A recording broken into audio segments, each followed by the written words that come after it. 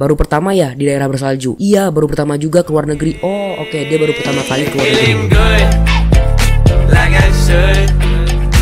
When in dark, I walk around the neighborhood. Feeling blessed. Yo, halo teman, kembali lagi bareng gue Respiras dan ya oke teman jadi video kali ini gue bakalan coba untuk baca chat horor atau chat story horor ya. karena gue mau coba untuk buat buat konten horor juga gitu kan karena juga banyak yang minta gitu. Nah jadi hari ini gue bakal coba untuk bacain cerita horor tentang perang dunia. Ya karena juga baru-baru itu sering banget rumor-rumor tentang perang dunia ketiga gitu kan.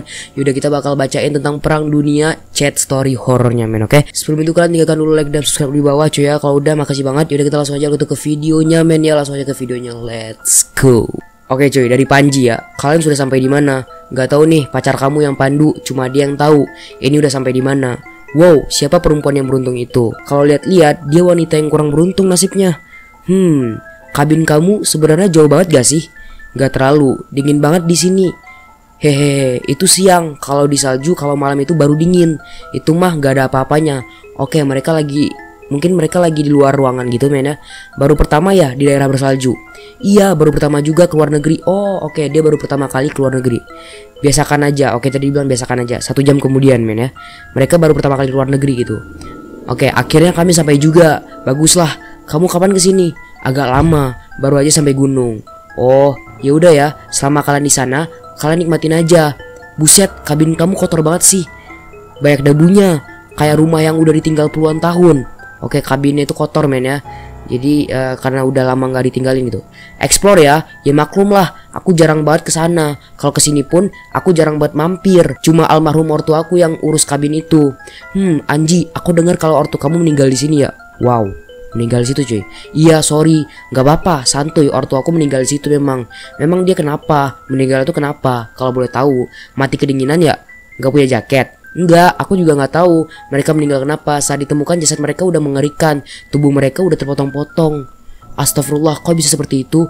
Aku juga nggak tahu, mungkin binatang buas. Tapi kalau dilihat, potongan tubuh mereka seperti bukan dicabik binatang buas. Maksud kamu sangat mengerikan, potongan yang terarah ke setiap bagian tubuh mereka. Kalau menurut aku, nggak mungkin kalau binatang yang lakuin itu.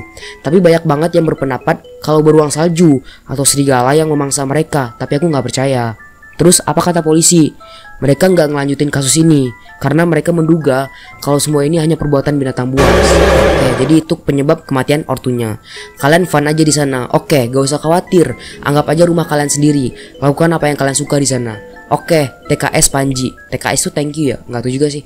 Sore kemudian, oke ini udah sore cuy ya. Woi, lagi ngapain? Serupan. Oh, lagi seru gitu. Main salju di sini. Aku nggak pernah kayak gini. Ketemu salju paling di T-zone time zone kali ya. Haha, oke oke. Kamu kapan ke sini? Ayo cepat ke sini, seru-seruan bareng. Oke, mereka lagi seru-seruan lempar-lempar salju kali ya cuy ya. Bentar, aku masih ada beberapa pekerjaan. Mungkin lusa. Aku turun gunung, nanti aku langsung ke sana. Wow, lusa cuy. Oke, ini malam harinya men ya. Tadi sore, sekarang malam harinya. Oke oke, Panji. Iya, di sini ada orang nggak selain kami? Wow. Maksud kamu, aku ngerasa malam ini ada yang liatin kami dari kejauhan. Seingat aku nggak ada di sana rumah satu-satunya ya kabin itu yang kalian tinggalin. Aku pernah lihat dia seperti memperhatikan kami. Apa nggak bayangan kamu aja? Maksud kamu aku halu? Bisa jadi, tapi ini beberapa kali aku benar lihat ada orang. Oke, itu kamu ya? Gak usah nakut-nakutin deh. Apaan sih? Aku belum turun dari puncak gunung. Gak mungkin banget aku bisa turun sifat itu. Aneh soalnya, semua aku lihat di kabin tapi Panji dari kejauhan dari balik-balik pohon. Aku lihat ada orang yang lagi liatin kabin ini. Oh my god, cuy, ada orang ya men ya. Udah deh, nggak usah bikin takut. Paling juga pendaki atau orang-orang yang lagi ngeski ya. Oke, malam-malam gini ngeski kan nggak mungkin banget gitu kan. Udahlah, pokoknya kamu jangan bikin takut mereka. Gak seru kalau nggak bikin takut mereka. Nih anak parah juga cuy ya. Ngapain bikin takut teman-teman gitu? Keesokan malam, oke besoknya malam lagi. Kamu mau ke sini? Iya, kalian cepet-cepet berkemas. Mau ke mana? Kita masih lama di sini. Berkemas aja deh, kita pindah. Wow, mereka mau pindah cuy. Panji, kita masih fun-fun di sini. Kan kamu sendiri yang bilang fun-fun aja, berkemas aja pokoknya. Enggak, mereka juga nggak mau pergi. Aku tahu semuanya. Ada yang lihat. Sarah, P Sarah, kamu masih di sana? Ping, ping, ping, ping, ping. Beberapa saat kemudian, Oke, si Sarah nggak ngerespon tadinya cuy. Jerry meninggal. Innalillahi cuy. Kamu serius? Ping ping, aku serius. Gimana ceritanya? Dia tadi ke kaskus, lama banget kami curiga. Kenapa dia lama di kaskus? Terus aku keluar buat periksa. Aku lihat, aku ketok pintunya, dia nggak jawab. Tapi pintu itu masih terkunci. Terus apa yang terjadi? Aku dobrak pintunya, berharap aku bisa lihat ini dalam celananya. Dia mati tercabik, perutnya mengeluarkan usus. Inilah, aku udah tahu. Maksud kamu OMG, Lara juga hilang sekarang.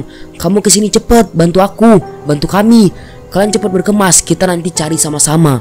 Oke, oh my god, dua temennya hilang ya, satu orang hilang, satu orang meninggal. Beberapa saat kemudian, cuy. Panji, maksud kamu apa? Apa? Apa kamu udah tahu? Aku tahu ini perbuatan siapa. Perbuatan siapa, cuy? Nazi. Oh my god. Bawa-bawa Nazi, cuy. Aku nggak ngerti Nazi apa. Tentara. Iya, Oh my god, itu udah lama nggak ada. Kamu gak usah bercanda deh. Aku tahu sebenarnya aku tahu ortu aku siapa yang bunuh. Waktu aku kecil, aku lihat sendiri di persembunyian aku. Aku lihat mereka membunuh orang tua aku. Nazi itu udah puluhan bahkan ribuan tahun lalu di Perang Dunia II. Bagaimana ada tentara Nazi sekarang? Astaga, peristiwa itu terjadi di sini. Di mana orang-orang memilih untuk diam selama Perang Dunia II. Oxford adalah kancah sebagai daerah terpenting untuk Jerman. Tempat itu kunci pelabuhan. Untuk kapal Jerman, Jerman bergaul cukup baik dengan penduduk, tapi nggak di daerah ini. Nazi diperintahkan oleh Kolonel Herzog. Aku nggak ngerti apa maksud kamu. Herzog membuat penduduk di sini seperti di dalam neraka. Dulu penduduk di sini disiksa, dipukuli dan dirampas harta mereka. Tapi di akhir perang, Jerman sadar kalau mereka kalah. Mereka pergi ke rumah penduduk dan mencuri barang berharga yang bisa mereka temukan. Jika ada yang keberatan, mereka akan menembakkan peluru di kepala. Lalu Para warga mengamuk dan mereka mengejar para tentara, tentara Nazi itu sampai ke gunung ini. Tapi para tentara Nazi itu tidak ada yang ditemukan, entah mereka mati atau hidup. Iya, oh my god, aku pernah dengar sekilas tentang itu, tapi aku nggak pernah percaya. Apalagi kalau ada yang melakukan ini, semua tentara Nazi yang membunuh teman-teman kita. Aku juga nggak percaya, tapi siapa yang bunuh ortu aku di depan mata aku dengan pakaian tentara Jerman dulu dan wajah mereka seperti zombie. Apa kamu serius? Aku serius. Artinya kita harus pergi dari sini. Kalian harus bersiap. Aku udah mau turun. Kenapa kamu nggak bilang sebelumnya? Aku hanya nggak mau kalau merusak rencana kalian. Apalagi aku lihat kalian ingin sekali ke sini gitu. Jadi dia nggak mau merusak teman-temannya yang lagi mau fun-fun. Beberapa saat kemudian, aku hampir sampai. Sarah, ping, ping, ping. Kamu di mana? Ping. Panji, kamu di mana? Aku di kabin. Oke, Panji udah di kabin. Apa mereka baik-baik saja? Kamu di mana? Semua orang mencari kamu. Aku ke toilet. Apa kamu baik-baik saja? Aku nggak apa-apa, tapi aku nggak tahu aku di mana. Aku pingsan dan tahu-tahu aku ada di sini. Coba jelaskan kamu seperti ada di mana. Kami akan cari kamu. Aku ada di tempat seperti goa, ada tulang-tulang manusia dan aku lihat topi tentara Nazi di sini. Astaga, aku tahu kamu di mana. Sebisanya kamu harus keluar dari sana. Aku nggak percaya ini. Mereka masih ada. Mereka udah berubah jadi zombie. What? Gak ada yang bisa bertahan di gunung es itu. Selama itu aku ke sana. Beberapa saat kemudian. Oh my god, Panji, kamu di mana? Cepet dong. Ada mereka di sini. Apa ada pisau? Kamu bawa pisau? Sarah, ada. Pakai itu buat senjata tusuk mata mereka. Mereka akan musnah. Dari mana kamu tahu? Aku pernah berhadapan dengan mereka. Oh my god, mereka semakin mendekat. Ping, Sarah, cepet keluar. Aku ada di luar goa. Ping, mereka terlalu banyak. Mereka memakan teman-teman kita mentah-mentah. Gak dimasak dulu. Uh, ada lubang di atas goa itu. Kamu bisa lihat? Iya, aku lihat. Kamu bisa panjat. Mungkin cepet kamu panjat itu. Usahakan kamu bisa secepatnya keluar. Oke, dia disuruh untuk manjat cuy ya.